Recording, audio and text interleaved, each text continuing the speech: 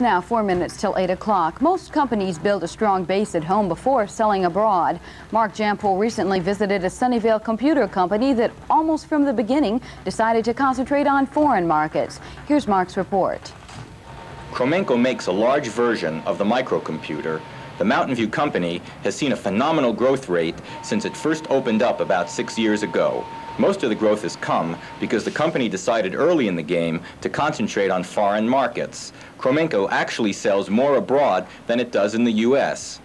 Cromemco began as a weekend business run by an assistant professor of electrical engineering at Stanford and by the assistant chairman of the department.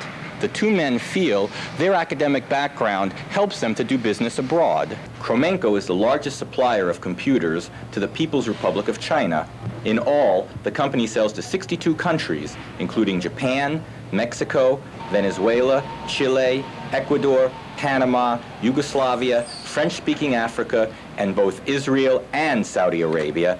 Cromemco co-founder Roger Melen says, each sales agreement has to take on the flavor of the country involved. There is also uh, a great deal more uh, handshake diplomacy. You have to, at times, give without written policy for giving. If a person has a defective part, you can't ask him for a receipt which is 15 days old always. You have to be more gracious uh, in your warranty considerations. About the biggest problem doing business abroad is getting paid.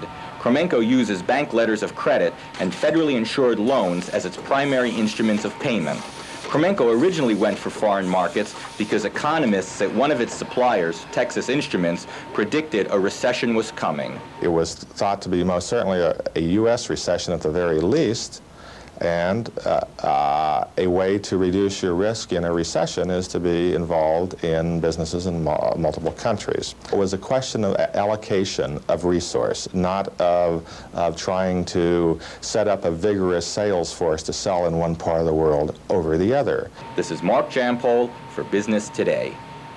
Cromemco has just signed an agreement with Mitsubishi to distribute in Japan the computer will have Mitsubishi's name on it, but the insides will be Cromemco's. Mitsubishi is buying from Cromemco because a Japanese company doesn't have Cromemco's expertise in software.